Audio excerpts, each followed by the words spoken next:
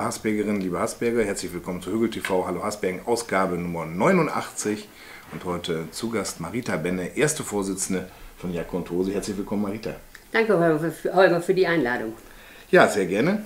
Äh, bevor wir ins Detail gehen zu der sehr schönen Organisation, äh, erstmal wieder ein paar Zahlen. Die sind mittlerweile ja auch in Hasbergen, weiß Gott nicht mehr so gut. Hasbergen ist äh, mittlerweile jetzt betroffen. Wir hatten seit Beginn der Erkrankung 83, aktuell infiziert sind 36. Das ist also noch eine ganze Menge.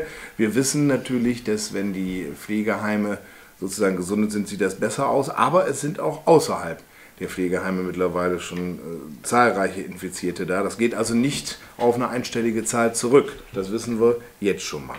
Insgesamt in Stadt und Landkreis stagniert das äh, ungefähr seit einer Woche. Die Anzahl der Infizierten ist im Moment auf 1431. Das ist zwar ein hohes Niveau, aber ein Niveau, was vor einer Woche auch schon ungefähr war. Das heißt also, wenn es auch noch nicht zurückgeht, so scheint es doch den Gipfel möglicherweise erreicht zu haben und die Maßnahmen unter Umständen zu greifen. Das wäre natürlich ganz wichtig. Ich habe eben gesagt, äh, Corona hat nun auch Hasbergen tatsächlich erreicht.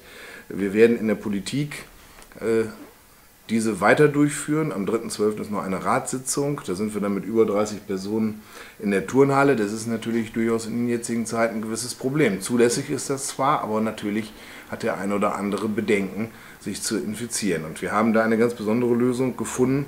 In Absprache mit der Ratsvorsitzenden werden wir dort Schnelltests durchführen, die wir bekommen haben. Das ist sehr erfreulich, damit es da eben keine Gefahr gibt für die verhältnismäßig vielen Personen, die dann in der Turnhalle entsprechend sind. Eine positive Nachricht äh, auf jeden Fall noch um diese jetzige Jahreszeit. Am Freitag äh, soll, und das wird auch, wird auch sicherlich stattfinden, eine Bratwurstbude und eine Glühweinbude eingeweiht werden. In normalen Zeiten vielleicht keine Nachricht, aber äh, jetzigen Zeit ist es auf jeden Fall eine Nachricht und zwar wird das bei Kiebeck geschehen. Lars Brauer wird die betreiben und zwar nach den aktuellen Richtlinien. Äh, wer dann eine Bratwurst haben möchte, sehr selten dran zu kommen, wenn man sich nicht gerade selber grillt im Moment, oder ein Glühwein, äh, der kann dann mal zu Teppich Kiebeck fahren und sich entsprechend dort versorgen. Eine gute Aktion, wie ich finde. Ja, und eine gute Aktion, Marita, ist Jacke und Hose allemal. Vor einem Jahr, ungefähr um diese Jahreszeit, hatten genau. wir äh, schöne Aktion, zehn Jahre Jacke und Hose. Äh, Marita, stell dich doch erst mal kurz vor. Hallo, ich bin Marita Benne. Ich, viele kennen mich durch den Kindergarten. Ich bin damals im Jahr 73 im katholischen Kindergarten als Leitung, Leiterin angefangen und seitdem auch in Hersbergen geblieben. Äh, ich habe zwei Söhne, äh, die längst aus dem Haus sind, beziehungsweise einer wieder in mein Haus eingezogen ist und ähm, vier Enkelkinder und wir sind eine glückliche Familie. Ja, jetzt zum Thema, Holger. Wir haben also vor elf Jahren genau unsere Kleiderkammer eröffnet. Das kam damals äh, von Mitgliedern der evangelischen Kirchengemeinde, des Caritasverband, des Deutschen Roten Kreuzes, der AWO und wir hatten uns überlegt, ob es nicht sinnvoll ist, in Hasbergen eine Kleiderkammer einzurichten. Da uns keiner der großen Institutionen wie Kolping oder auch das Deutsche Rote Kreuz wollte uns nicht unterstützen und nicht ins große Boot nehmen, haben wir uns auf eigene Füße gestellt und haben die Kleiderkammer eröffnet. Und wir sind äh, ganz, ganz erstaunt und ganz glücklich, wie wunder, wunderbar das gelaufen ist.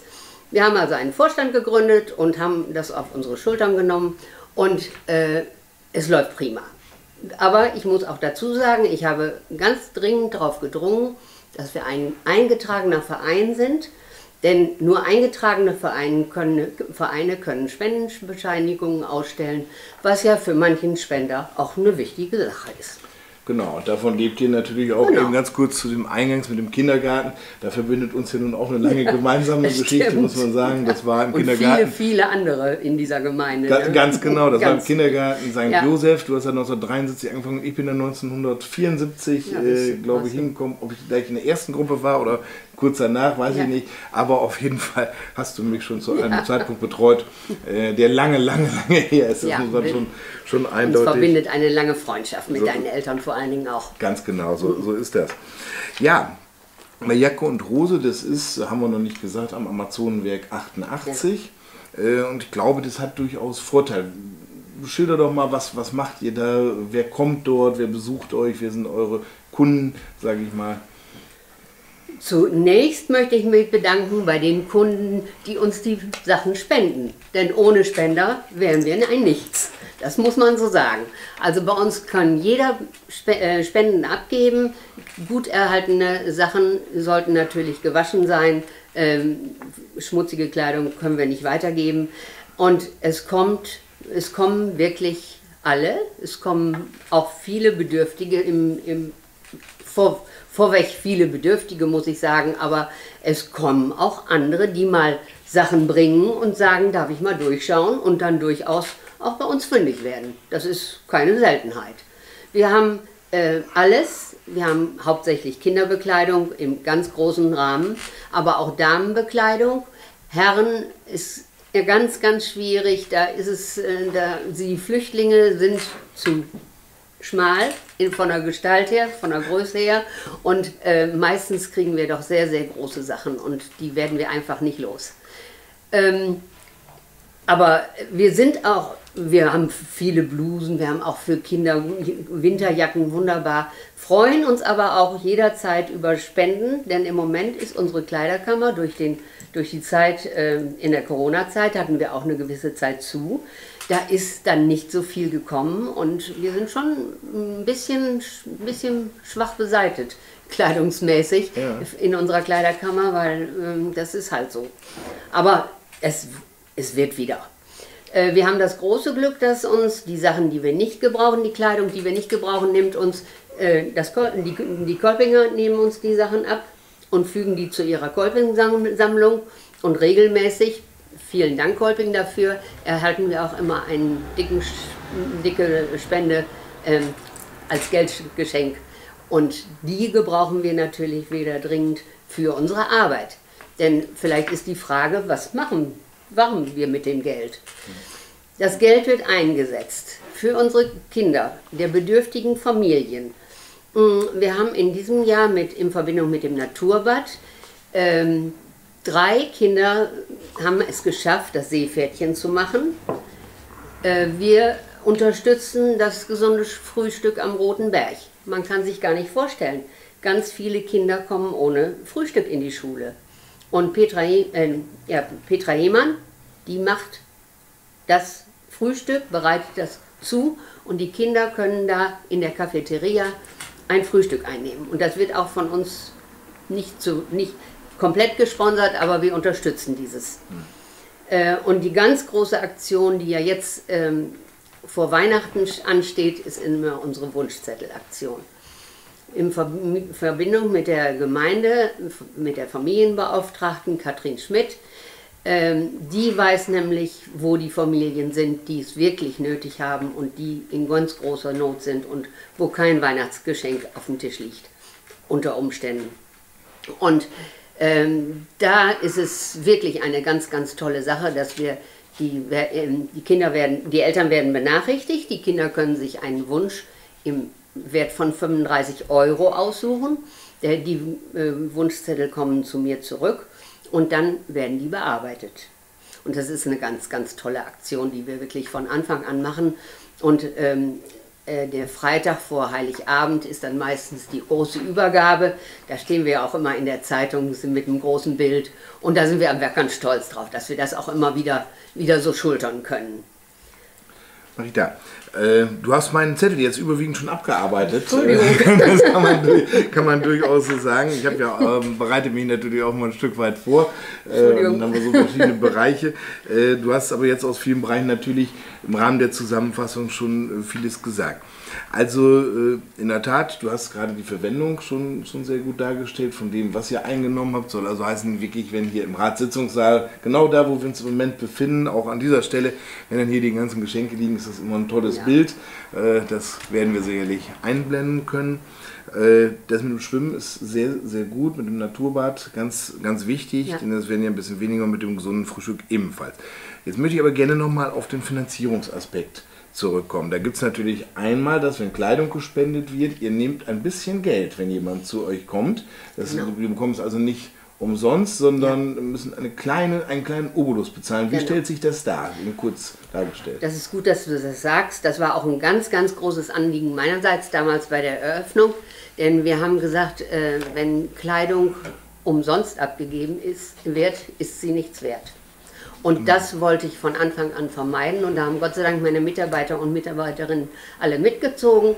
Und ähm, es ist völlig in Ordnung, wenn man für einen Wintermantel 3 Euro bezahlt, für eine Winterkinderjacke 1,50 und ein T-Shirt 50 Euro kostet oder eine Erwachsenenhose 1 Euro. Es sind also geringste Beiträge und ich bin immer wieder überrascht, wie viel Geld da zusammenkommt. Das ist unglaublich. Genau, von welcher Summe kann man insgesamt sprechen? Also in so einem normalen Jahr, jetzt haben wir Corona, aber nehmen wir mal einfach Ja, so also die letzten Jahre. äh, jetzt so in den letzten Wochen hat sich ein Nachmittag von drei Stunden auf 60, 70 Euro eingependelt. ja, das sind dann schon eine Menge Das Kleidungsstücke. Ist, das kann man, ist eine Menge sich- Geld. Da geht wirklich richtig was durch.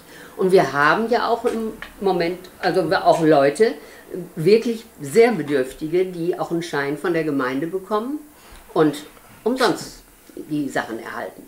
Ja, ansonsten darf jeder grundsätzlich kommen. Genau. Wie ist es mit Menschen, die nicht in Hasbergen ansässig sind? Können auch kommen. Wir haben ja auch Helleraner, Lotteraner, die uns die, äh, die Kleidung bringen. Also ganz niedrigschwellig. Ja. Und äh, es wird, glaube ich, auch sehr geschätzt, dass das nicht so direkt zentral ist. Das ist so ein bisschen am Ende der Straße am Genau. Amazonenwerk, die ich hier Ja, kenne. erst Äh, hatten, hatten wir da alle Bedenken, aber trotzdem danke ich der Gemeinde, dass wir überhaupt diese, diese Räume zur Verfügung gestellt bekommen haben, denn das war ein erstes groß, ein großes Problem. Ja, wir machen eine Kleiderkammer, wohin damit? Ne?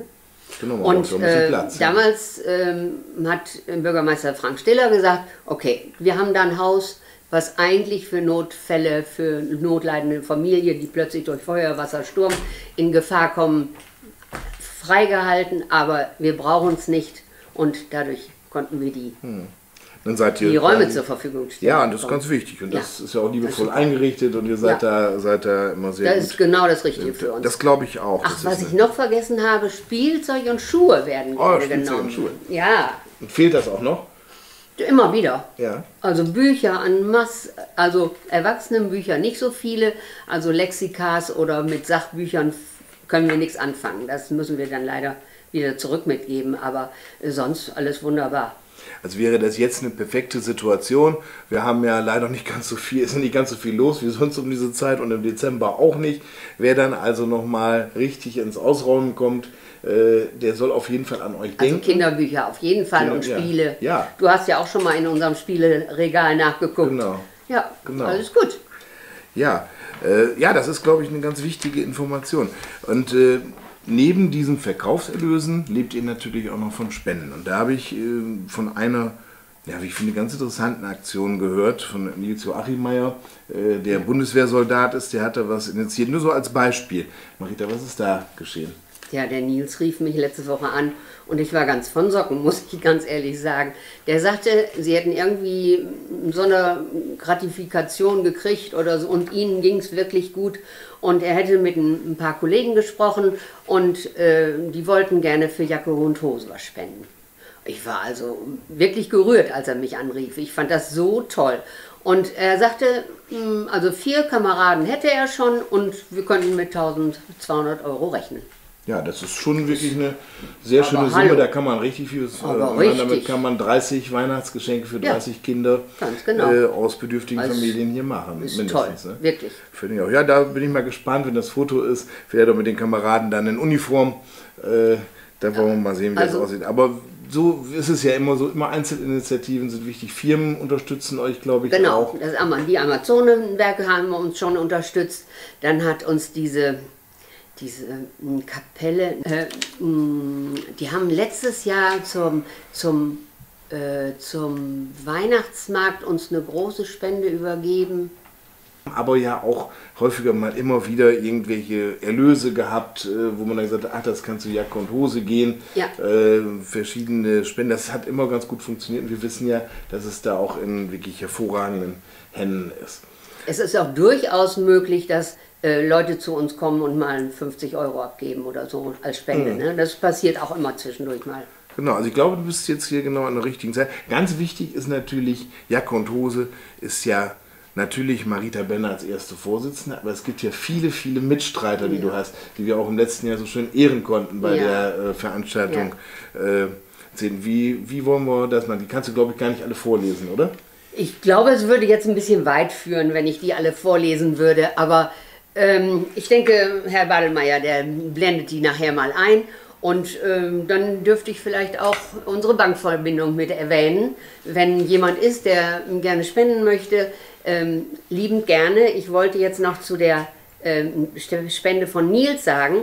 Da haben wir wirklich uns äh, Gedanken gemacht, dass wir speziell diesen Betrag auf äh, drei Familien aufteilen wollen, ja. Die sehr bedürftig sind und wo wirklich der Baum brennt. Hm. Und das wollten wir jetzt nicht so in den großen Topf geben, sondern äh, so ganz ja. speziell und also direkt Hilfe, die ankommt. Hilfe vor Ort das leisten, wo es wirklich da ist zum Beispiel eine rumänische Flüchtlinge, die brauchen einen Tornister. Ne? Ein Tornister kostet ja heute so viel Geld. Ich meine, es ist jetzt eine gute Zeit, weil die im Auslaufen sind, die alten, die alten Modelle. Mhm. Und man kann sie jetzt günstiger kaufen. Mhm. Aber, aber das sind so Sachen, die wollten wir ganz speziell an die Familien ja, spenden. Ist doch wunderbar. Eine Info fehlt uns noch am Ende. Äh, wir sagen, wenn man das, wenn man zum Beispiel Kleidung und ähnliche Dinge zu euch bringt, dann kann es ja sein, man geht da am Sonntag um 15 Uhr hin, dann ist natürlich niemand da. Ja, Wann richtig. kann man das machen? Ja, unsere Öffnungszeiten sind am, von Mond, am Montag von 9 bis 12 und am Donnerstag von 15 bis 18 Uhr.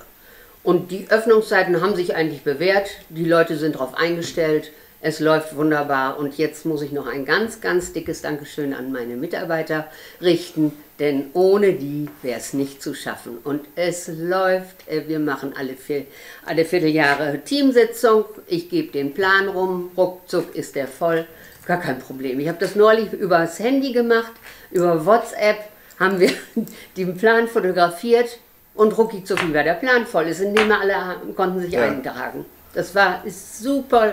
Ohne euch könnte ich es wirklich nicht machen. Keine Nachwuchsprobleme. Vielen, vielen Dank euch allen. Das, das, das, ist wichtig. Ja, das ist, glaube ich, ganz wichtig. Ja, jetzt, gar äh, nicht. Äh, jetzt um diese Zeit. Also, äh, ja, ich glaube, wir haben jetzt einen guten Überblick äh, gefunden. Die wichtigsten Informationen sind gegeben. Also auch im Namen der Gemeinde vielen Dank. Das ist wirklich eine tolle Arbeit, gerne. die ihr da leistet. Das haben wir gerne. letztes Jahr ja auch schon gesagt. Mhm. Es gibt viele Bedürftige und das werden wahrscheinlich nicht weniger in den ja. nächsten Jahren. Ja. Insofern toll, dass ihr das so macht, dass es so niedrigschwellig ist, dass niemand ähm, in Anführungszeichen sich schämen muss, denn zu gehen. Das ist überhaupt nicht der Fall, sondern Nein. jeder kann da völlig entspannt hingehen, ja. wird nett betreut. Ich weiß ja, wie ihr das genau. da macht. Also wirklich eine ganz tolle Geschichte. Macht gerne ja. weiter so. Vielen ja, Dank. Wie gesagt, das Engagement meiner Mitarbeiter ist aber auch wirklich erst ein, einmalig und klasse. Genau. Ja, Marita, äh, vielen Dank, dass du da warst. Ja, ich danke auch, dass ich hier sein durfte. Und mir bleibt zu sagen, 2021 wird gut.